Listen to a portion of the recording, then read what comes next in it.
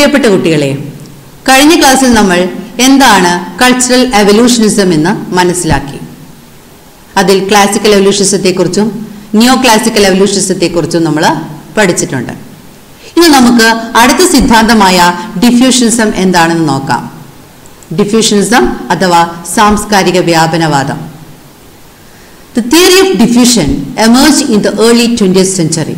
ഇരുപതാം നൂറ്റാണ്ടിന്റെ തുടക്കത്തിലാണ് സാംസ്കാരിക വ്യാപനവാദ സിദ്ധാന്തം ഉദയം ചെയ്തത് and this ഡിഫ്യൂഷ്യസ് believe that culture trait or culture complex develop at various time in different parts of the world and later on diffuses to different parts. അപ്പോൾ വ്യാപനവാദികളുടെ കാഴ്ചപ്പാടിൽ ലോകത്തിലെ വിവിധ ഭാഗങ്ങളിലെ വ്യത്യസ്ത സംസ്കാരങ്ങളിലെ വ്യത്യസ്ത കാലങ്ങളിൽ രൂപപ്പെടുന്ന സാംസ്കാരിക ഘടകങ്ങളും സാംസ്കാരിക ഘടക സഞ്ചയങ്ങളും മറ്റു ഭാഗങ്ങളിലേക്ക് വ്യാപിക്കുന്നു അപ്പം ഈ കൾച്ചർ ട്രേറ്റും കൾച്ചർ കോംപ്ലക്സും ലോകത്തിന്റെ പല ഭാഗങ്ങളിൽ പല സമയങ്ങളിലാണ് ഉടലെടുത്തത്.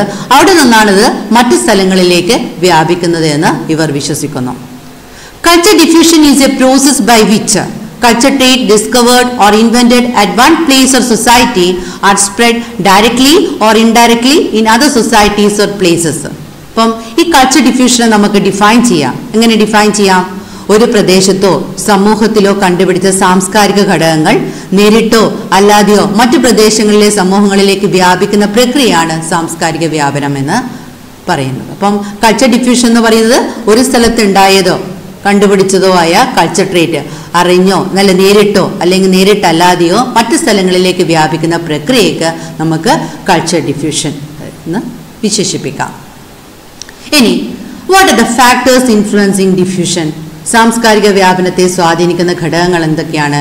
എന്തൊക്കെ ഘടകങ്ങൾ കാരണമാണ് നമുക്ക് ഡിഫ്യൂഷൻ നടക്കുന്നത്? ഒന്ന് റിലേഷൻ ആൻഡ് കമ്മ്യൂണിക്കേഷൻ ബന്ധവും ആശയവിനിമയവും. നമ്മൾ മറ്റുള്ളവരുമായിട്ടുള്ള ബന്ധത്തിലൂടെയും ആശയവിനിമയം നടക്കുന്നത് വഴിയും എന്ത് നടക്കാം? ഡിഫ്യൂഷൻ നടക്കാം. രണ്ടാമത്തത് നീഡ് ഫോർ ന്യൂ ട്രേഡ്സ് സംസ്കാര ഘടകങ്ങളുടെ ആവശ്യകത. പുതിയ ട്രേറ്റുകൾ നമ്മുടെ ട്രേറ്റുകൾ മാറ്റി പുതിയൊരു ട്രേറ്റ് വേണമെന്ന് തോന്നി നമ്മുടെ ട്രേറ്റിൽ എന്താണ്? കൾച്ചർ ട്രേറ്റിൽ വ്യത്യാസമുണ്ട് അപ്പോൾ നീഡ് ഫോർ ന്യൂ ട്രേറ്റ്സ് സംസ്കാര ഘടകങ്ങളുടെ ആവശ്യകത അത് നല്ലതാണെന്ന് തോന്നി നമ്മൾ സ്വീകരിക്കുക. മറ്റൊന്ന് കോമ്പറ്റീഷൻ വിത്ത് ഓൾ ട്രേഡ്സ് പഴയ സംസ്കാര ഘടകങ്ങളുമായുള്ള മത്സരം കാരണം. പഴയത് ശരിയില്ല പുതിയത് വേണം. ആ ഒരു കോമ്പറ്റീഷൻ കാരണം നമ്മൾ അതിൽ പുതിയൊരു ട്രീറ്റിനോടാണ് ഒരു കമ്പം ഉള്ളത് അതുകൊണ്ട് നമ്മൾ ആ ഒരു ട്രീറ്റ് അല്ലെങ്കിൽ ഒരു ഫാഷനെല്ലാം നമ്മൾ കാണുന്നില്ല? പുതിയതാണ് നല്ലതെന്ന് തോന്നി നമ്മൾ ആ ഒരു ഫാഷൻ സ്വീകരിക്കും. അപ്പോൾ കോമ്പറ്റീഷൻ വിത്ത് ഓൾ ട്രീറ്റ്സ് പഴയ സംസ്കാര ഘടകങ്ങളുമായുള്ള മത്സരം കാരണം നമ്മൾ പുതിയത് സ്വീകരിക്കാം. മറ്റൊന്ന് respect and recognition towards new trade പുതിയ സംസ്കാര ഘടകങ്ങളോടുള്ള ആദരവും അംഗീകാരവും. അതിനോടുള്ള ബഹുമാനം തോന്നിയിട്ടും അതിനോടുള്ള ഒരു അംഗീകാരം തോന്നിയിട്ടും നമ്മൾ പുതിയൊരു ട്രേറ്റ് സ്വീകരിക്കുക അപ്പം ഈ കാരണങ്ങൾ കൊണ്ട് കൾച്ചർ ഡിഫ്യൂഷൻ നടക്കുക അപ്പോൾ what are the factors influencing diffusion one one is relation and communication ബന്ധവും ആശയവിനിമയം രണ്ടാമത്തത് നീഡ് ഫോർ ന്യൂ ട്രേഡ്സ് സംസ്കാര ഘടകങ്ങളുടെ ആവശ്യകത. മറ്റൊന്നെന്താണ്? കോമ്പറ്റീഷൻ വിത്ത് ഓൾ ട്രേഡ്സ് പഴയ സംസ്കാര ഘടകങ്ങളുമായുള്ള മത്സരം കാരണം നമുക്ക് ഡിഫ്യൂഷൻ നടക്കാം. അല്ലെങ്കിൽ എന്താണ്? Respect and recognition towards new trades പുതിയ സംസ്കാര ഘടകങ്ങളുള്ള ആദരവും അംഗീകാരവും കൊണ്ട് നമുക്ക് എന്താണ് പുതിയൊരു ട്രേറ്റ് ഉണ്ടാവാം. ഇനി what are the conditions of culture diffusion സംസ്കാര വ്യാപനത്തിനുള്ള വ്യവസ്ഥകൾ എന്തെല്ലാണെന്ന് നോക്കാം. Any culture group adopt culture trait of another group when it is meaningful or useful economically socially or both അപ്പം ഏതെങ്കിലും ഒരു സംസ്കാരത്തിലുള്ളവർ മറ്റു സംസ്കാരയുടെ സാംസ്കാരിക ഘടകങ്ങൾ സ്വീകരിക്കുന്നത് എപ്പോഴാണ്? സാമ്പത്തികമായോ സാമൂഹികമായോ അല്ലെങ്കിൽ രണ്ട് രീതിയിലും എന്താണ് ഉപകാരപ്പെടും ഉപകാരപ്പെടുമ്പോഴാണ്. അപ്പം ഒരു കൾച്ചർ ഗ്രൂപ്പിൽ പെട്ട ഒരാൾ മറ്റൊരു കൾച്ചർ ഗ്രൂപ്പിന്റെ കൾച്ചർ ട്രേറ്റ് സ്വീകരിക്കണമെങ്കിൽ എന്താണ്? അദ്ദേഹത്തിന് അതിൽ എന്തെങ്കിലും അർത്ഥം ഉണ്ടാണെന്ന് തോന്നണം അല്ലേ? അല്ലെങ്കിൽ എന്താണ്? ഇക്കണോമിക്കലി അല്ലെങ്കിൽ എന്താണ്? സോഷ്യലി സാമൂഹികപരമായിട്ടും എന്താണ്? അത് മീനിങ് ഫുൾ അർത്ഥം ഉണ്ടാകുന്ന തോന്നുമ്പോഴാണ് ഒരു കൾച്ചർ ഗ്രൂപ്പിലെ ആൾ മറ്റൊരു കൾച്ചർ ഗ്രൂപ്പിലെ കൾച്ചർ ട്രേറ്റ് സ്വീകരിക്കുക. ഇനി at the time of diffusion culture traits will not remain in its original form there might be changes due to different environment condition ഈ ഡിഫ്യൂഷൻ നടക്കുന്ന സമയത്ത് അല്ലെങ്കിൽ സാംസ്കാരിക വ്യാപന സമയത്ത് സാംസ്കാരിക ഘടകങ്ങൾ എന്താണ് അതിന്റെ യഥാർത്ഥ രൂപത്തിലല്ല ഉണ്ടാവുക. അതിലെന്താണ് ചെറിയ മാറ്റങ്ങൾ ഉണ്ടാവാം എന്തുകൊണ്ടാണ് വ്യത്യസ്തമായ പാരിസ്ഥിതിക ചുറ്റുപാട് കാരണം എന്താണ്? അവിടെ ചെറിയ മാറ്റങ്ങൾ ഉണ്ടാവാൻ സാധ്യത അപ്പോൾ at the time of diffusion culture traits will not remain in its original form there might be changes due to different environment condition സാംസ്കാരിക ഘടകങ്ങൾ വ്യാപന സമയത്ത് യഥാർത്ഥ രൂപത്തിൽ നിലനിൽക്കുകയില്ല. വ്യത്യസ്ത പാരിസ്ഥിതിക ചുറ്റുപാടുകൾ കാരണം എന്താണ്? അതിൽ മാറ്റങ്ങൾ ഉണ്ടാവുന്നുണ്ട്. Process of diffusion is always from high culture to low culture or developed culture to underdeveloped culture ഈ ഡിഫ്യൂഷന്റെ പ്രക്രിയകൾ എങ്ങനെയാണ് നടക്കുന്നത്? എപ്പോഴും എന്താണ്? ഉയർന്ന സംസ്കാരത്തിൽ നിന്ന് താഴ്ന്ന സംസ്കാരത്തിലേക്ക്. വികസിത സംസ്കാരത്തിൽ നിന്ന് അവികസിത സംസ്കാരങ്ങളിലേക്കാണ് അതിന്റെ സാംസ്കാരിക വ്യാപനം എപ്പോഴും നടക്കുന്നത് നമുക്ക് കാണാൻ സാധിക്കുന്നത്. മറ്റൊന്ന് Process of diffusion may create culture change in the groups by adopting culture traits of other groups. മറ്റ് സംസ്കാരത്തെ സാംസ്കാരിക ഘടകങ്ങൾ സ്വീകരിക്കുന്ന പ്രക്രിയ വഴി സംസ്കാരത്തിൽ എന്തുണ്ടാവും? മാറ്റങ്ങൾ ഉണ്ടാവും. നമ്മളൊരു കൾച്ചർ ട്രേറ്റ് മാറി നമ്മൾ വേറൊരു കൾച്ചർ ട്രേറ്റ് സ്വീകരിക്കുകയാണെങ്കിൽ നമ്മുടെ കൾച്ചറിൽ തീർച്ചയായിട്ടും എന്തുണ്ടാവാനുണ്ട്? മാറ്റങ്ങൾ ഉണ്ടാവാൻ സാധ്യതയുണ്ട്. അതാണ് ഇവിടെ പറയുന്നത്. മറ്റൊന്ന് there are some obstacles or barriers for culture diffusion like lack of transport and communication or physical barriers like ocean desert mountain etcetera സംസ്കാര വ്യാപനത്തിന് വിഘാതമായി നിൽക്കുന്ന ചില ഘടകങ്ങൾ നമുക്ക് കാണാൻ സാധിക്കും. എന്തൊക്കെയാണ്? ഒന്ന് ഗതാഗതത്തിൻ ഗതാഗതത്തിന്റെയും വാർത്താവിനിമയത്തിന്റെയും അഭാവം. മറ്റൊന്നാണ് ചിലപ്പോൾ ഡെസേർട്ട് മരുഭൂമിയാവാം അല്ലെങ്കിൽ സമുദ്രം പുഴ തുടങ്ങിയവ. ചില നമുക്ക് ചില ട്രൈബൽ ഗ്രൂപ്പ്സിലെ ചില ഗ്രൂപ്പുകളുടെ ഇടയിൽ കാണുന്നുണ്ട്. വലിയൊരു മാറ്റങ്ങളൊന്നും ഇല്ലാതെ നമുക്ക് കാണാൻ സാധിക്കും. അതെന്തുകൊണ്ടായിരിക്കാം? ചിലപ്പോൾ അവർ താമസിക്കുന്ന ഇക്കോളജിയുടെ പ്രോബ്ലം ആയിരിക്കാം. ട്രാൻസ്പോർട്ട് ആൻഡ് കമ്മ്യൂണിക്കേഷൻ ഏറ്റവും കൂടുതലായിട്ട് അവിടെ ഉണ്ടാവില്ല. അല്ലെങ്കിൽ ചിലപ്പോൾ ഫിസിക്കൽ ബാരിയേഴ്സ് ആയിരിക്കും.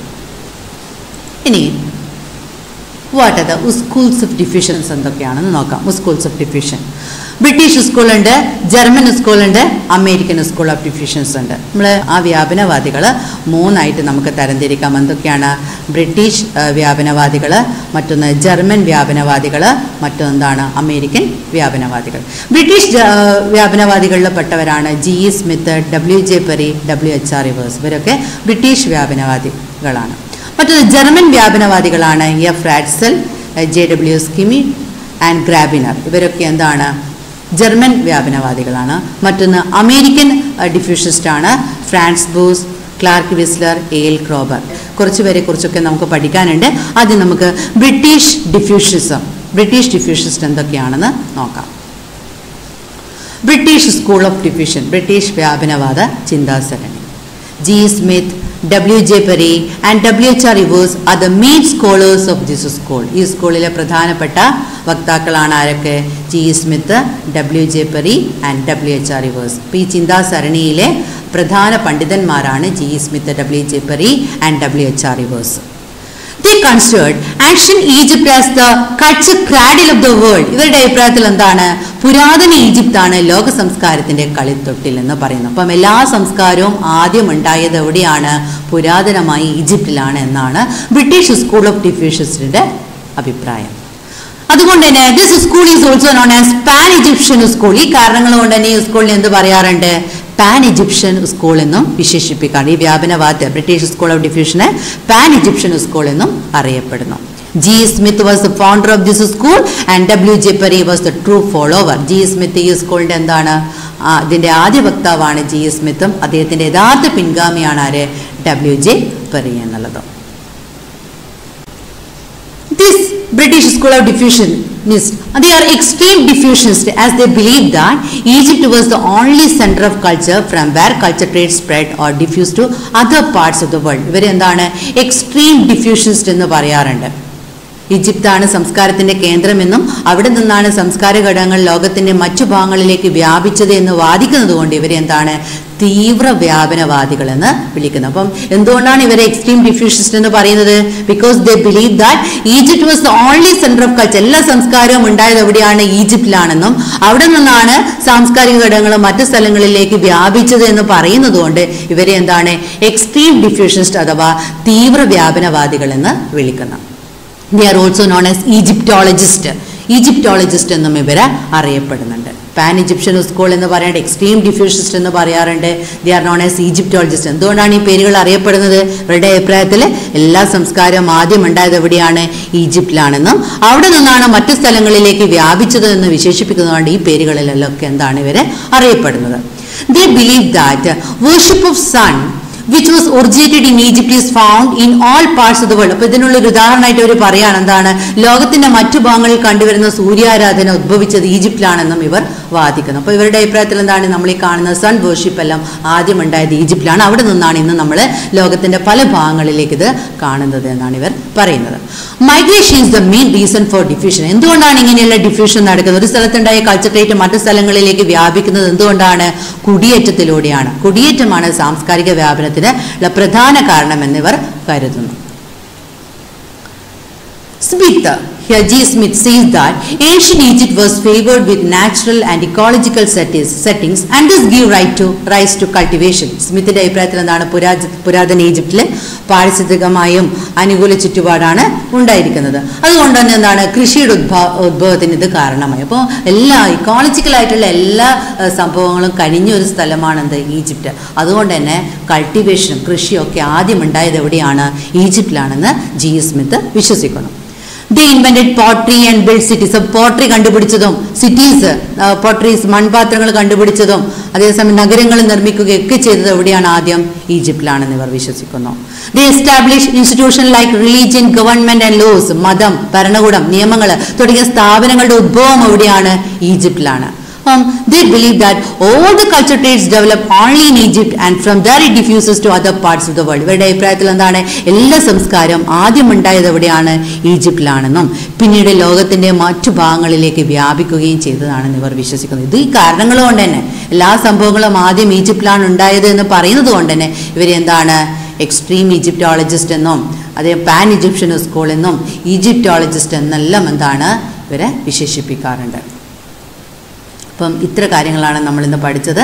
എന്താണ് diffusionism what are the factors influencing ഡിഫ്യൂഷൻസത്തെ കുറിച്ച് പഠിച്ചു. അതിന്റെ കണ്ടീഷൻസ് എങ്ങനെയൊക്കെയാണ് ഡിഫ്യൂഷൻ നടക്കുന്നതെന്ന് പഠിച്ചു.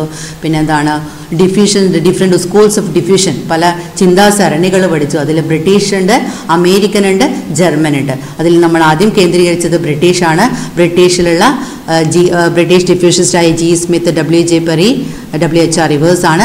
അവരുടെ പ്രത്യേകതകളെക്കുറിച്ച് പഠിച്ചു അവരുടെ അഭിപ്രായത്തിൽ എല്ലാ സംസ്കാരവും ആദ്യം ഉടലെടുത്തത് ഈജിപ്തിലാണെന്നും അവിടെ നിന്നാണ് മറ്റു ഭാഗങ്ങളിലേക്ക് വ്യാപിച്ചതെന്നും വിശേഷിപ്പിക്കുന്നു. ഇപ്പം ഇത്ര കാര്യങ്ങൾ നമ്മൾ പഠിച്ചു. അടുത്ത ക്ലാസ്സിൽ ജർമ്മൻ ഡിഫ്യൂഷനിസ്റ്റ് കുറിച്ചും അതേപോലെ അമേരിക്കൻ ഡിഫ്യൂഷനിസ്റ്റിനെ കുറിച്ചും നമുക്ക് പഠിക്കാം. Okay thank